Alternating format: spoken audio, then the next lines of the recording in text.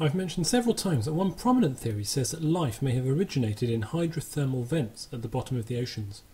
This is not by any means a universal belief among scientists, though the model does nicely sidestep several important drawbacks of life originating near the surface, and provides a handy way to get all the required elements together next to a strong source of energy and nutrients. Hydrothermal vents were discovered in 1949 when an automated underwater probe reported that certain areas of the Red Sea were anomalously hot. In the 1960s, further work established this effect and measured elevated seafloor temperatures related to an active seafloor rift.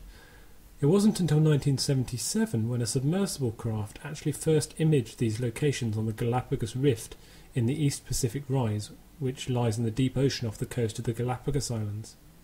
Photography showed a remarkable array of undersea volcanic activity, with scalding hot mineral rich water pumping from below the Earth's crust. Hydrothermal vents have now been discovered in both Atlantic and Pacific Oceans, and in 1979 they were visited by human beings for the first time in an underwater submersible vehicle operated by the American Woods Hole Oceanographic Institution. The most remarkable thing about deep sea hydrothermal vents is that, although they are often several miles deep in the total blackness of the ocean floor, with boiling water full of sulfites so hot and poisonous to kill most life on contact, and even though they exist at water pressures many hundreds of times what we experience at the surface, they are still teeming with life. Wonderful, fascinating, bizarre, extraordinary, almost alien life, but life nonetheless, based on DNA just like ours, and fitting within the tree of life that covers all the other ocean and land dwelling creatures on Earth. Could it be that these locations may have been the very cradles of life on Earth, a less hospitable place could scarcely be imagined, but then life has an amazing ability to persist in pretty much any extreme environment we can throw at it. So we've explored a potential location for the origin of life, or at least for the origin of some of its vital precursors, and we've also been introduced, albeit briefly, to the RNA world hypothesis, which states that RNA, a molecule like DNA, was the first to evolve, with DNA coming later on. So let's talk about RNA a little bit more. The so-called RNA world hypothesis admittedly does little more than plug a few gaps in our understanding of abiogenesis. We still need to explain the origins of the RNA world itself, and this is not straightforward. Still, it is certainly a good step forward. RNA has several important properties which make it a sensible candidate for a precursor to DNA. Firstly, RNA strands can replicate themselves. This is a vital property of any candidate for the stage before the arrival of DNA. Moving from a non-replicating molecule right through to a complex replicating molecule like DNA seems unlikely. Remember that evolution generally works in small steps, and when you put a large number of small steps together you often get a huge change. But if any of those individual steps is too wide, then it will never happen. So in order for us to get a plausible model of abiogenesis, we must first identify a sequence of smaller steps that could lead us from the primordial soup of chemicals right through to the DNA in cells. So the fact that RNA can replicate itself is a huge clue that this may have been a precursor. But there are other clues. Most importantly, RNA is considerably simpler than DNA, which is good. Also, it can self-catalyze, as we saw earlier. RNA can catalyze its own replication, and hence massively improve the rate at which small numbers of RNA molecules could grow into a viable reproductive population. And finally, and this is probably a good clue too, RNA is still used in the cells of living animals today to carry out the transcription and replication of DNA molecules. The fact that RNA still performs this role is a big clue that it may have once performed that role for itself earlier on. Finally, the RNA world hypothesis has found some experimental support recently by studies such as a 2009 paper in the journal Nature by John Sutherland and collaborators from the University of Manchester. Existing models have assumed that RNA must have been formed from activated ribonucleotides, a process which is documented and supported by experimental evidence. However, the construction of those ribonucleotides is problematic. The main ingredients required are ribose, a sugar, and nucleobases. Nuclear bases are easy to form, but ribose is not, and there's no reasonable hypothesis for how it was generated in sufficient amounts to allow for the formation of ribonucleotides. However, the paper looks at this problem in a different way. Ribonucleotides are indeed constructed from ribose and nucleobases, but it's possible that they originally arose from a different process, one which did not proceed via either of these intermediate chemicals, and built up the ribonucleotides from different building blocks. And this paper claims to have demonstrated such a process, which starts with a soup of chemicals that were probably available on the early Earth, and builds up a certain kind of activated ribonucleotide in a more complicated but chemically far more plausible route. Of course, it's far too early to verify that this was definitely the way that the first self replicating DNA molecules arose, but it's certainly a good start. Once we have RNA, the next step is obviously to build cells. The cell is an absolutely vital stage in the origin of life. Cells hold together the nucleic acids in which genetic codes are imprinted, together with the molecules required to replicate them, the catalysts required to speed up this process, and all the other cellular machinery in one self contained region. They control which chemicals are allowed to enter and leave this environment, and they ultimately divide and build up our bodies, even leaving our bodies as gametes to go through the process of fertilization and to create new life. Of course, primordial cells needn't have done almost any of this, there was no requirement for sexual reproduction, cells would have split asexually. The majority of the cellular apparatus, though vital today, could easily have built up over time. All that was really required for a primitive cell was a membrane, which would hold a strand of RNA or DNA in one place, together with some of the chemicals required for its replication.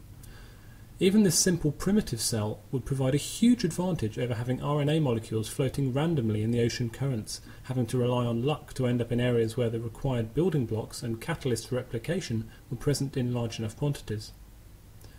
It may have been that the evolution of the cell was an unlikely event, but it's clear that it provided so many enormous advantages once it arose that it was bound to become widespread extremely quickly.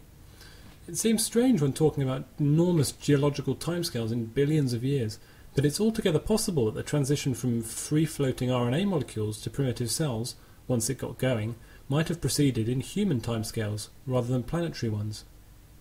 A primary component of the evolution of the cell is definitely the concept of a lipid bilayer, which is a naturally occurring chemical structure consisting of two layers of a certain kind of fat molecules which join together and form a watertight bond in a layer a few nanometers, that is billionths of a meter, thick. Lipid bilayers form the membranes of pretty much all cells, including those in your own body, and they're remarkably easy to form. In fact, when the correct chemicals are available in the presence of water, they form spontaneously. This is very good news for our theory. The other thing that lipid bilayers can do is form into a ball called a liposome, which is a spherical shell with a wall made from lipids in this bilayer configuration. Again, these structures form naturally just because of the chemistry of lipids in contact with water and when they contain other liquid inside, they're known as vesicles, and these are the most likely precursors to modern cells. Why they're such a likely candidate seems obvious. We know that liposomes form naturally in the presence of water, and modern cells are indeed made from this exact material. Were phospholipids available in the early Earth? Again, this poses a few problems. Lipids were certainly able to form from the chemicals available, but the main problem is getting lipids in a sufficient concentration to form vesicles.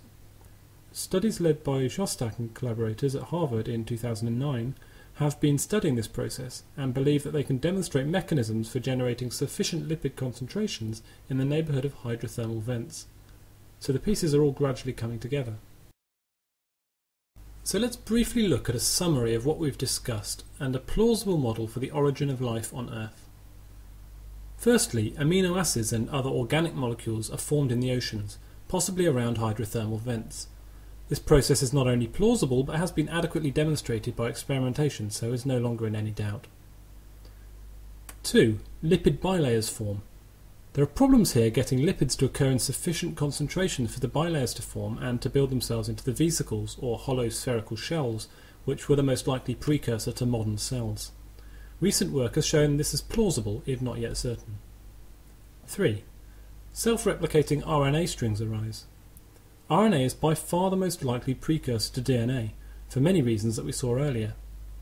RNA is likely built from activated ribonucleotides, possibly by the process we saw a few slides earlier, which has been demonstrated in 2009. Work is continuing in this area too. 4. RNA strings merge with the bilayer vesicles to form primitive cells. When RNA strings and the molecules they require for replication all coexist within one vesicle, then there is an enormous bonus to the replication of those RNA molecules, and hence they will become much more common. 5. Finally, as the contents of these vesicles change, and we get RNA strings in shells with precisely the correct mix of molecules, then the formation of far more complex RNA strings can occur, and eventually, through the replacement of thymine for uracil and a few other minor changes in the structure of the RNA, we get DNA, which forms the basis of all life on Earth today. Abiogenesis is perhaps one of the most difficult subjects in all of biology to approach from any perspective, a layman's or an expert's. The best option when attempting to explain it is first and foremost to be honest from the beginning and admit that science simply doesn't have all the answers yet. The scientific community is still very much in the process of patching holes in our understanding of this distant period in the story of life. Lack of understanding does not mean that we're on the wrong lines. We just need to keep looking. Most creationist arguments revolve around some variations on the common complaint of the chance of arranging the smallest possible self-replicating protein at random is essentially zero. As we've seen, the story of abiogenesis is far more complicated than just a molecule sprung into being by fluke. Firstly, when dealing with tiny probabilities, you've also got to look at the other side of the equation, the number of trials. When you have hundreds of millions of years and all the molecules in all the oceans of the world, then some things that seem very unlikely are in fact almost certain. The second point to note is, of course, that nobody's suggesting that any of this is happening purely by random chance. Out of the vast number of possible proteins, only a tiny minority could be formed by plausible biological pathways. However, it remains true that the likelihood of forming a self-replicating individual in one step is extremely remote. Work is focusing on how we can reduce this seemingly insurmountable gap into a few more manageable, smaller steps, as we've seen. In the last two years or so, a few vital leaps forward have been made. Proposing a creationist answer to this problem is not only failing to solve the problem, it's creating all manner of new problems. If a god or gods created the universe, then we haven't managed to explain how complexity arose. We've simply shifted the cause. A deity is a complex entity that must also be explained. We've also added into the mix the many unanswered questions that unavoidably proceed from any supernatural theory. The very early origins of life on Earth are not yet understood. As I said earlier, science has the courage to admit this, and the dedication to look at ways to resolve this problem. Studies of abiogenesis are often unfathomably complex, with extraordinary levels of study required to understand the processes involved. It's hardly surprising that we haven't yet worked out exactly how this could have happened but the vast number of possibilities mean that we have a wealth of avenues to explore. To look at a hole in our existing knowledge and see an impossibility is not only dishonest and misleading, but it's also a sign of a profound lack of desire to understand the universe and shocking intellectual cowardice which I simply cannot respect. Ultimately, this is a very difficult topic to deal with, but that's precisely why we must study it. And when we finally put the pieces together, it will be an extraordinary triumph. Well, that's the end of this rather long presentation. As ever, there's loads more information on my website at frayn.net, where you can also find a transcript of this talk and all the following ones and all the previous ones, and you can keep up to date with my blog as well as learning about some of my other work. See you next time when I'll be talking about fossils and what they can tell us about the story of life on Earth.